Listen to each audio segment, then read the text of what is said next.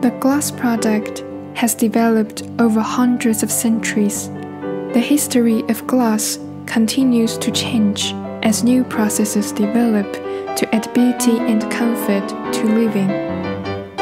The making of glass has evolved from everyday using objects to sophisticated artworks, one that can connect with emotions, religions, and even the historical memory of human civilization. The window now on display has become an essential part of the church.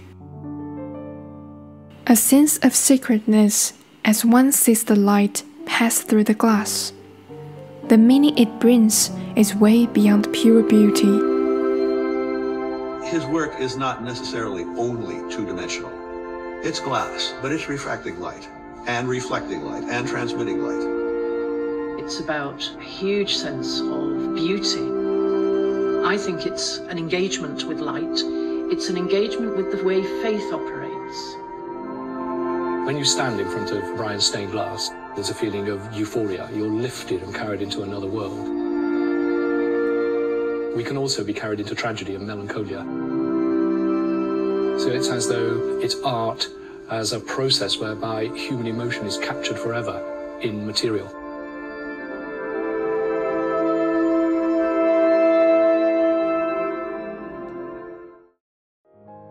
At the Museum of Contemporary Art 2022, the V&A Museum exhibits a wide range of glass objects.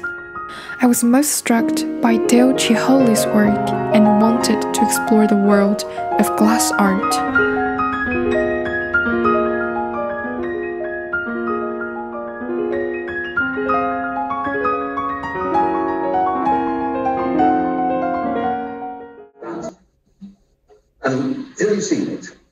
Really understand all this art I'm talking.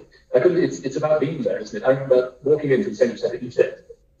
I did. And uh, the giant screen comes up. And the, uh, to, to, put context for everyone, we put the glass screens in front of a, of a giant window that the Sainsbury Centre has, that the sun pours in through early in the morning. And uh, we would often close that window at night, and then uh, the, the, screen would lift up so that the light came in and started to hit the screens. And um, it was an intensely emotional experience. I remember thinking that it's almost like an emotional euphoria not attached to any one subject. It's not as though there's a person there that you love or that you've seen something. It's just, uh, it almost permeates into you, like seeing a sunset. It, uh, it's a subject matter in itself, the translumination. It has the capability. I borrowed some glasses and bottles with colors and patterns, and their shadows that were illuminated by the light can look like the Potala Palace, flowers, and even ocean were truly beautiful and healing.